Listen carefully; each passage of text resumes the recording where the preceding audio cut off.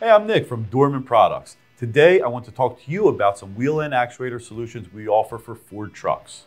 The F-150 is a tough truck, and so are the vehicles built on its platform like Lincoln Navigators and Ford Expeditions. Owners in snowy areas and those who venture off-road often choose four-wheel drive models for the half-ton sure-footed nature when the terrain is slippery or unstable.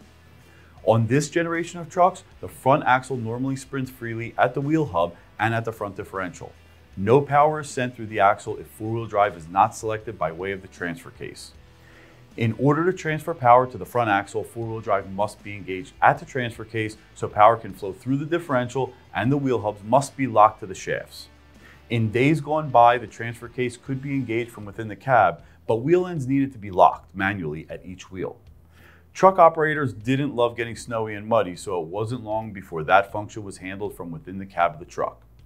Ford elected to control their power hubs by way of vacuum actuators. They refer to them as IWEs, integrated wheel ends. Vacuum from the engine is sent to a reservoir, and a solenoid controls the system, directing vacuum through tubing and check valves. Regardless of your system, whether electronic shift on the fly or torque on demand, vacuum signal to the hubs is controlled in this way. The system applies vacuum to the hub actuators in two-wheel drive, and therein lies the beginning of the problems that can occur. As the vehicle ages, all those tubes and fittings are exposed to UV, temperature fluctuations, and chemicals. The diaphragms within the hubs also begin to crack due to similar factors, and eventually a leak forms. If a gross leak is found, the wheel hub will be locked. But normally the failure is gradual and vacuum is lost slowly. This manifests itself as a grinding noise when slowing or turning. The slowing of the engine causes reduced vacuum and the power steering pump at low engine speeds can cause enough of a drop to partially engage the wheel ends, leading to grinding as the teeth on the wheel end begin to engage the splines on the drive shaft. If left unchecked, this will eventually ruin the wheel end actuators. Dorman offers a few solutions for ailing Ford four-wheel drive systems. First is our 600 105 wheel end actuators. If yours aren't holding vacuum or the teeth have become damaged, our replacement set can get you back on the road. If you've determined that your IWE solenoid has failed, either electrically or pneumatically, we also offer a replacement solenoid. Water damage can ruin these. On many vehicles, these were installed on the firewall and water running off the hood runs right onto them, causing them to fail. If you see rusty water in your solenoid lines or the actuators themselves, it's probably coming from the hood. Note, ours has a plastic shroud on it to prevent this from occurring. And though it may sound obvious, we also kit these items together. And for that, you'll order the 600-305. This is a great option if you want to freshen up the whole system to make it work correctly again, keep it from failing, or if you have multiple leak points. Having all the parts handy can also be nice for a vehicle that has yet to be diagnosed.